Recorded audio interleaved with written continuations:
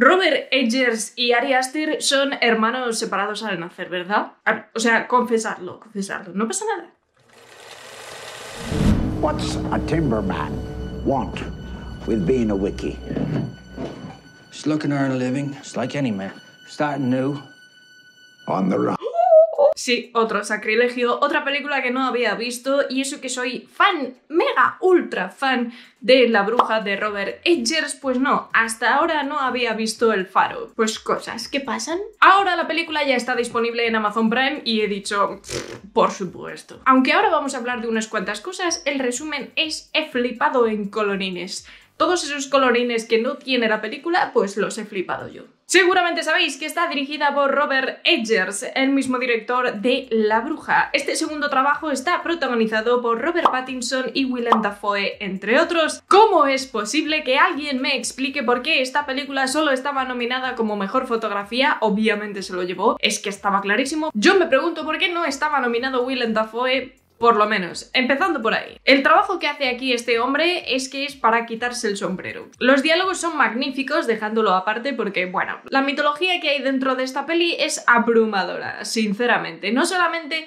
dentro de su diálogo y haciendo alusión literalmente a mitología que tiene que ver sobre todo con el mar, y con la muerte, con el infierno, cosas muy divertidas, sino que además visualmente tiene unas referencias al arte, a la pintura y, en fin, o sea, mm, hay momentos en los que la película parece más videoarte que una película narrativa, pero es que es alucinante. Yo he llegado a un momento en el que no me daba cuenta de que la película estaba en blanco y negro. Hasta ahí ha sido la influencia en la que estás pensando, madre mía, si es que esto está en blanco y negro. El uso de los contrastes, de las luces y las sombras. Bueno, hacía muchos años que no veía un blanco y negro como ese. Yo creo que desde Cold War tiene algunos detalles, pero en este caso sobre todo haciendo referencias a películas de terror, es que hacía muchísimos años que no veía esa utilización de la luz ni de lejos otro momento en la carrera de Robert Pattinson en la que ya nos está demostrando que, bueno, que madera tiene y que ya está cogiendo un poquito de tablas. Puede que en su próximo trabajo de The Batman nos llevemos alguna que otra sorpresita, yo lo espero, la verdad.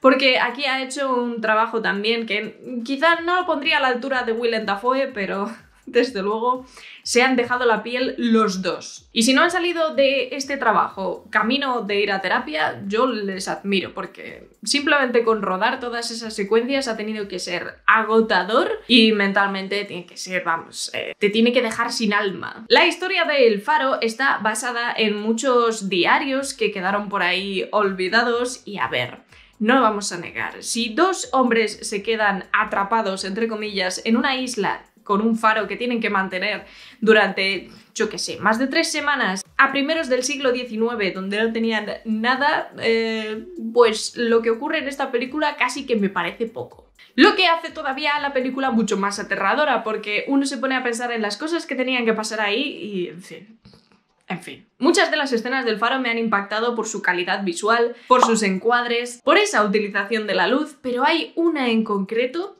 que yo creo que cuando he visto esa secuencia he dejado de respirar. O sea, hay un momento muy brutal protagonizado por Robert Pattinson. Si habéis visto la película, creo que sabéis a, qué tema me refiero. Y no es ninguna de las referencias sexuales que hay durante la película, no, estoy hablando de otra cosa. Otro momento muy impactante. Ha sido una de las cosas más perturbadoras que he visto en mucho tiempo. No es una película fácil de ver, no está recomendada mm, para menores, ni muchísimo menos.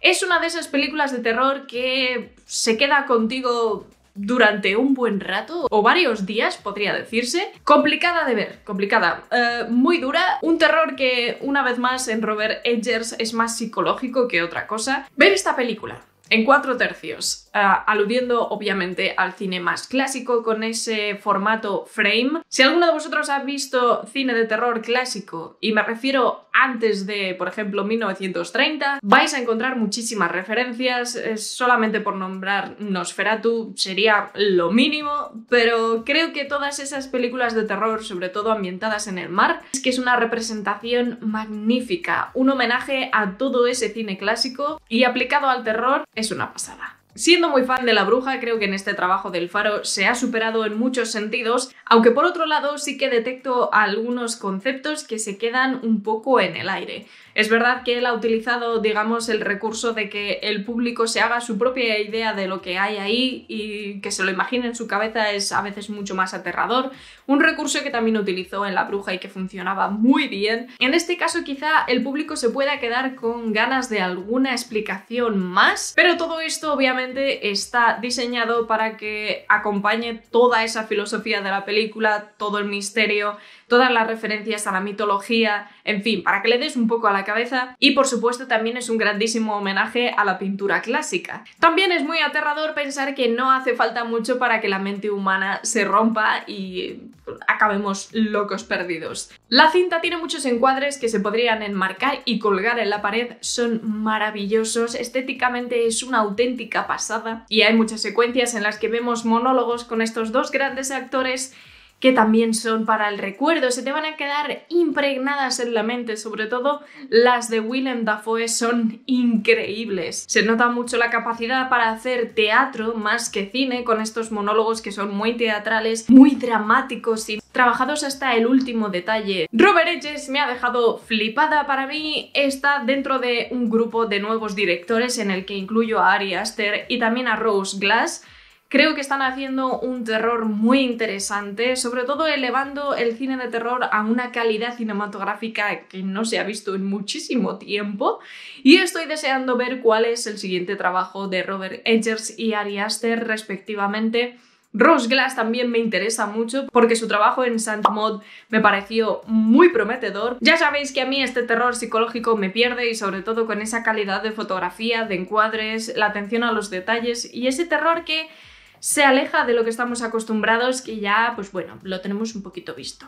Para mí El Faro es un 8, la he disfrutado como una enana, he alucinado secuencia tras secuencia con ese trabajo visual, con esa capacidad interpretativa que no sé por qué no se le dio un poquito más de atención porque es una auténtica maravilla, y una historia desoladora, desgarradora, que te deja los pelos de punta con un nudo en la garganta y, y no sé, sin saber muy bien qué decir. Es impactante en todos los sentidos y creo que es toda una experiencia, no apta para todos los públicos, pero sí se disfruta mucho si conoces un poco el cine clásico, sobre todo el de terror, en fin. Hay tantos homenajes dentro de esta peli que es abrumador y, una alegría verlo. Por favor, me encantará saber qué opináis sobre esta película, porque como todo cine de terror psicológico hay veces que gusta y otras que no. No es que yo sea muy fan de Midsommar, por ejemplo, pero El Faro sí que me ha impresionado, no sé. Contadme un poco qué os pareció El Faro, cuáles fueron vuestras impresiones y os recuerdo que os podéis suscribir, que es gratis, y si quieres colaborar un poquito más, puedes hacerte miembro del canal dándole al botón unirse que aparece por ahí abajo. Os voy a dejar por aquí algunos vídeos que puede que os interesen. Nos vamos a ver dentro de muy poquito. Cuidaos un montón y disfrutad del cine. Chao.